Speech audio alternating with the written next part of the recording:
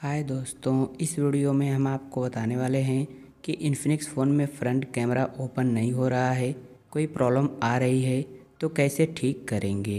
तो इसके लिए मोबाइल के सेटिंग्स में जाना है, फिर थोड़ा नीचे आएँगे तो यहाँ पर ऑप्शन मिलेगा ऐप्स का, इस ऑप्शन पर क्लिक करना है, फिर ऊपर ऐप मैनेजमेंट या मैनेज ऐप का ऑप्शन मिलेगा, इस पर क्लिक करना है।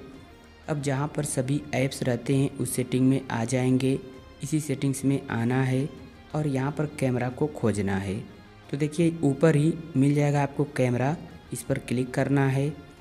यहाँ पर ऑप्शन मिलेगा फोर्स स्टॉप का। इस पर क्लिक करना है और फोर्स स्टॉप कर देना है।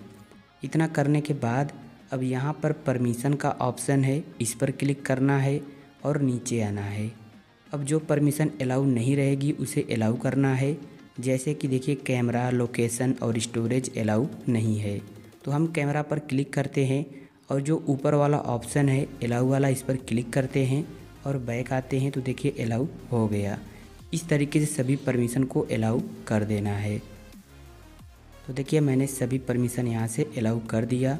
नीचे लिख कर आ रहा है, नो परमिशंस डिनाइड। तो इस तरीके से आपको भी कर लेना है।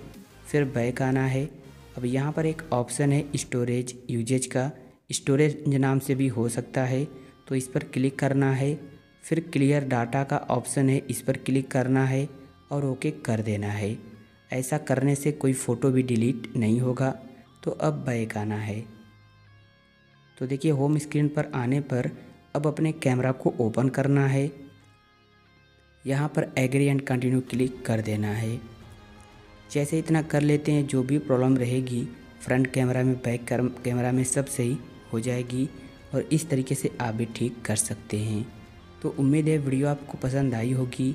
तो वीडियो को लाइक और चैनल को सब्सक्राइब कर लीजिए। एक प्यारा सा कमेंट भी कर दीजिए। Thank you